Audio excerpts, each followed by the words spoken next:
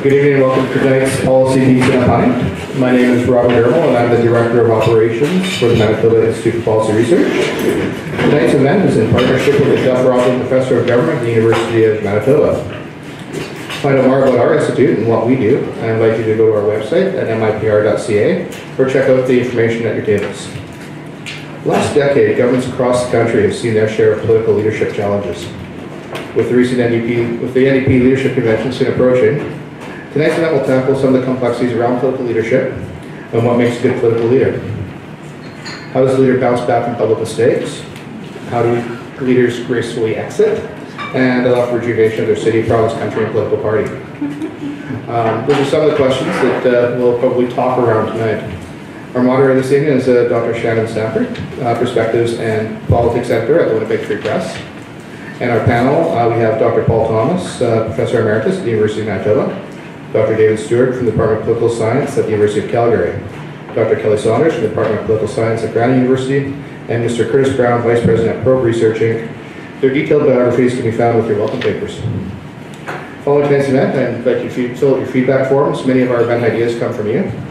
Um, so I'm going to pass the mic to Shannon and uh, enjoy the evening. Thank you. Well,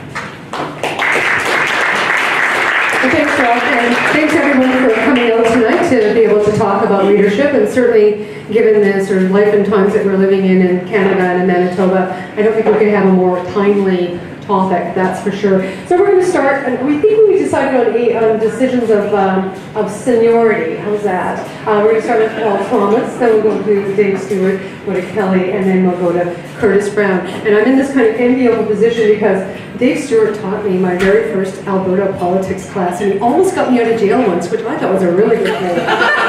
Always really positive. Okay, we'll start with um, uh, Paul, and I have the, I'm the keeper of the timer, so I get to use the big broad hook if they go too long. Go ahead, Paul. Thank you, Shannon. Um, think of me as the warm-up act, uh, with the main attractions to follow. Uh, as the senior member of the panel, I refuse to do any heavy conceptual lifting uh, and no gymnastic analysis that we'll get from uh, Curtis Brown. So I have seven slides, and I've enlisted a, a beautiful assistant here, David Stewart. He will change the slide. Now, could we start, Mr. Stewart? Professor Stewart, yeah, and go to the next one, please.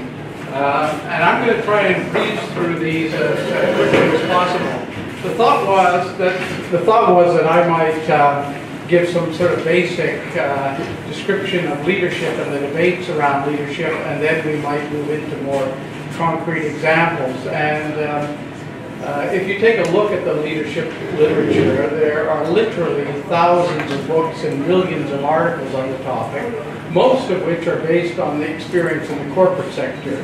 There are relatively few, uh, unfortunately, books on, on political leadership that develop working models uh, of leadership uh, uh, and do empirical testing of those leadership theories. So we have a lot of different perspectives on how leadership is best understood and practiced, uh, uh, whether in the corporate sector, the nonprofit sector, or particularly in, in government. So uh, sort of sorting out those uh, numerous uh, streams of literature, there are broadly two schools of thought. One sees leadership as uh, a set of personal attributes that some lucky individual by uh, by reason of the genetic draw or something, have certain attributes or qualities that make them leaders. The leadership leaders are born, in other words. And the second view is leadership as an interactive process. And then if you could change the slide, please. Uh, so uh, there, uh, let me my perspective is that leadership is far more an interactive process than it is a set of personal attributes. And under my thinking, the uh, distinction between leaders and followers becomes blurred. And leadership involves, in, in other words, a two-way flow uh, of influence between leaders and followers. Um, and uh, that becomes important when you begin to talk about the human side of leadership and the interactive process that, that develops in leadership. Next slide, please. So when we turn to the political realm, uh, there are uh, there's an ongoing relationship and process that involves two halves, in my view. There's first the in- in- set of institutional relationships where authority is distributed, there's control over resources, both material and symbolic resources, and there's the capacity to exercise prerogatives uh, of office uh, in order to wield uh, leadership power. This is the so-called hard power of leadership. The second half of political leadership involves skills of communication, listening, empathy, negotiation, bargaining, and persuasion. In other words, the capacity to cause people to voluntary, voluntarily change their minds and their behaviors. And this is so-called soft power. And obviously, these two uh, levels of, of leadership are related, they're inter, uh, in, uh, interrelated, and uh, the control over the levers of power in government obviously helps with the other side of leadership. Next one, please, Dick.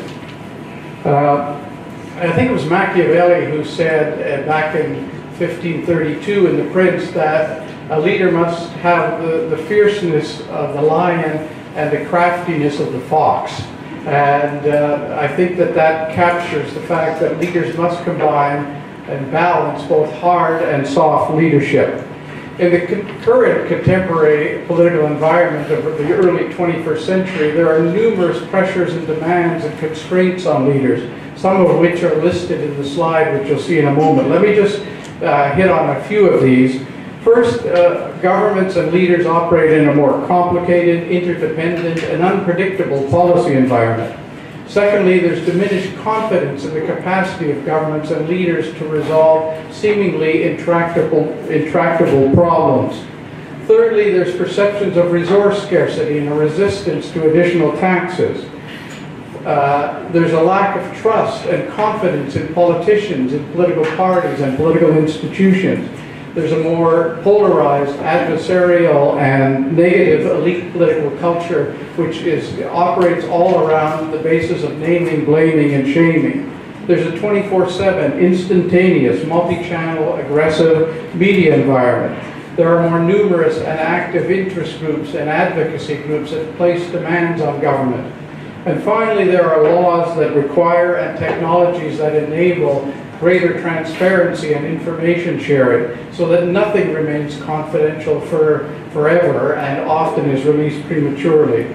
So governing itself may have become more centralized in the sense that decision making within government is often highly centralized, but the governance process, which is wider interactions between uh, uh, society and government, has become more pluralistic, open, uh, and uh, uh, uncontrollable. Next one, please, Dick. There's a brand new book out, that came out last year by Archie Brown, The Myth of the Strong Leader. A very important book, looks comparative, comparatively at leadership in a number of different countries. Uh, at one point, Archie Brown, a UK political scientist, writes, Good leadership requires many attributes whose relative importance varies according to time, place, and context. It should never be confused with overmighty power of overweening individuals. Brown uh, dismantles the myth that power equals strength and that strength guarantees positive outcomes. Being a leader of, uh, of a party and of a government is enabling. It gives you authority to make decisions, but there are also significant constraints. I was reading uh, a Finnish woman political scientist, uh, Lauri uh, Car- uh, Karvonen, who writes about the personalization of politics, the focus on the leader. And she says that in five democracies, including Canada, this trend that everyone seems to be agreed upon is much exaggerated. Leaders don't determine as much as we give them credit for, not even election outcomes. Next slide, please. Here's where I get closer to today's uh, realities here in the province of Manitoba. I want to stress the importance in a cabinet parliamentary system, particularly of maintaining party unity. It's one of the key tasks of party leaders, and it's become more difficult than it was in the past, despite the, the effect, of the seeming effectiveness of the control freak in Ottawa at the current time, Mr. Harper. But studies indicate that parties whose politicians openly feud are electorally harmed if voters are left with the distinct impression that internal divisions mean dysfunction and an inability to focus on the problems of the day. I've been reading several of those studies lately. This is especially true if the party in question is in government, if there are major party figures involved in this dispute, and if the feud involves a highly salient public policy issue like a major tax increase. So I'll finish with this point. Uh, I'll finish with this point.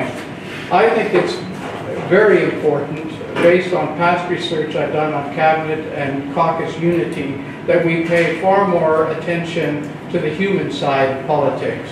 These, in this day and age, political scientists think of themselves as hyper-realistic, that they can see self-interest and political calculation and Machiavellian manipulations involved in every scene, and they can measure the distance people are from power.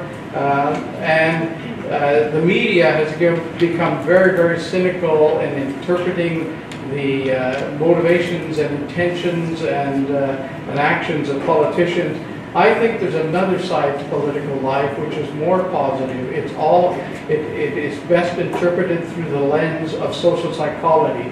Psychology, it's about belonging, it's about team play, it's about honesty, it's about uh, cooperation, it's about loyalty, trust, apology, and forgiveness.